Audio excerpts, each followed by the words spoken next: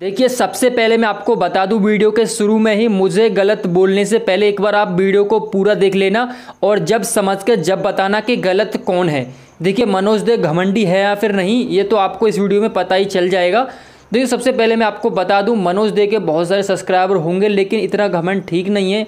यहाँ, जैसे कि आप सभी जानते होंगे कि एक्सप्रेस जोश नाम का एक यूट्यूब चैनल है, जिस पे हमारे जितेंद्र भाई काम करते हैं।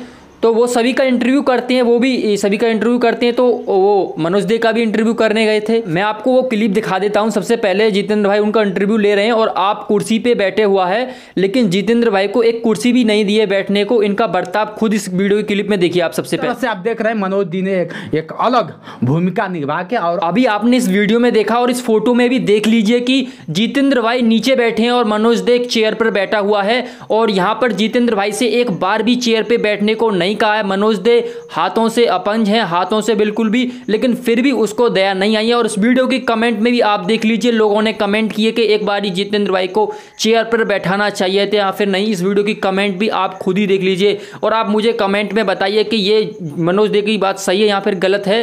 मनोज दे को चेयर पर बैठाना चाहिए था या फिर नहीं? तो यार इतनी दूर से अगर कोई आपसे मिलने आता है तो यार एक बार आप उससे चेयर पर तो बैठा ही सकते हो। अगर मनोज दे आप इस वीडियो को देख रहे हो तो यार आगे से कोई मिलने आया आपसे और इस वीडियो की कमेंट भी देख लेना। ये मैं नहीं कह रहा हूँ, लोग भी कह रहे हैं कि एक बार आपको उनको चेयर पर बैठाना चाहिए था। अगर आगे से कोई आपसे मिलने आए तो उनको चेयर को बैठने को ज़रूर कहना और ज़रूर बैठाना। ऐसे कोई नीचे बैठा हुआ है आपके घुटनों के नीचे और आप चेयर पर बैठ के बांसड़ दे रहे हो तो ये बात गलत है।